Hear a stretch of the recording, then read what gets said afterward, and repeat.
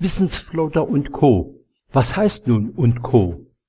Gemeint sind qualifizierte Lehrfilme, die nicht auf PowerPoint-Basis erstellt wurden und die nicht mit lesbarem und gesprochenem durchgehendem Text versehen sind. Gemeint sind vollformatige Kurzvideos mit besonderer Lehrintention oder erklärte Animationen.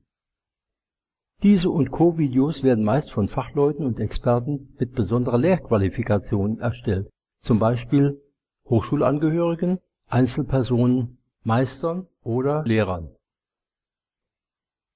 Filme ohne Erklärungen und Imagefilme werden nicht akzeptiert, weil sie nicht der Lehrintention entsprechen.